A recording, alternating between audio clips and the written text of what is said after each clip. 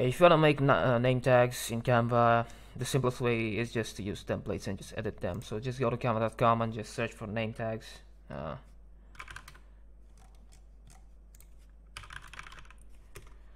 and uh, you're probably gonna have a bunch of templates to choose from. Some of them will be free, some paid. Um, let's see.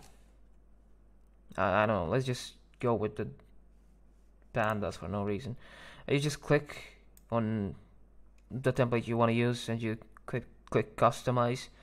Uh, they also give you like printing options if you want to use them to actually print your uh, cards, but uh, let's just click on the customize for now.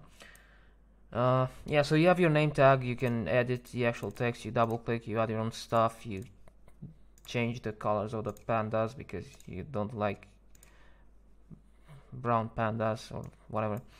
Uh, yeah, and once you're done, you just uh, okay, you have back and front for for some reason.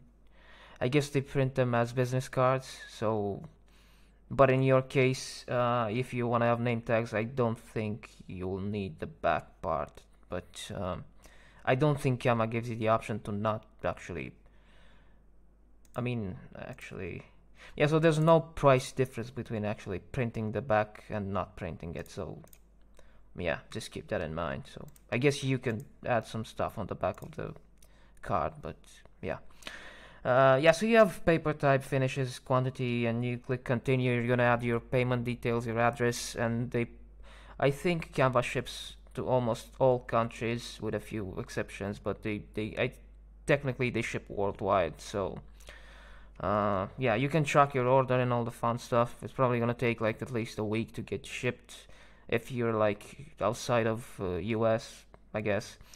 Uh, but yeah, that's how you basically choose a, a template a, of a name tag and you just customize it and print with Canva. Uh, if you want to print them yourself, if you don't want to use their printing service, if you want to use your printer or like uh, some other printing service like local, you go to share, you go to download, and then um, go with PDF print. And then you're gonna click download, and then you're gonna take that PDF file and you're really gonna print it yourself or you're gonna give it to the people who are gonna print it for you. Yeah so you just click on the print icon and that's it you're done. Um, yeah th that's how you create name tags. I mean you edit name tag templates and you just print them in Canva and I hope it helped